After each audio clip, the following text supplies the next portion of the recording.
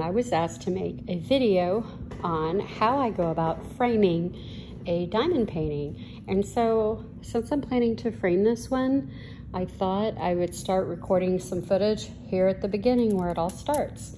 So when I started diamond painting, I kit it up and I get washi tape and I try to select washi tape that I think will look good around the edges.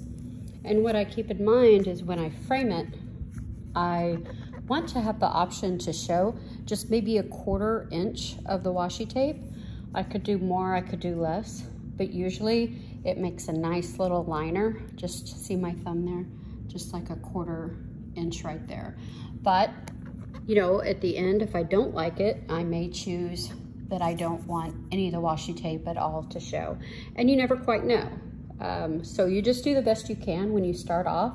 Um, I chose this red patterned washi tape, which is risky when you do that. Um, when you do a pattern, usually I go for foils, but in this case, I thought that that was great. And I did this white foil with the gold along the bottom since we had a white table here. I think that that would be good.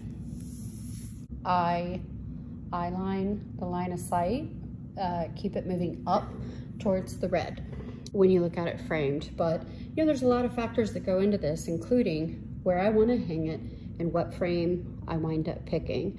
So I will need to continue to work on this. I'm gonna washi tape it in three inch sections.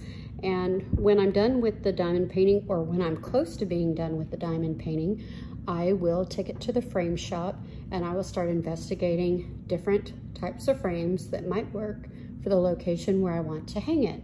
So I will update this with more once this is done. Thanks guys.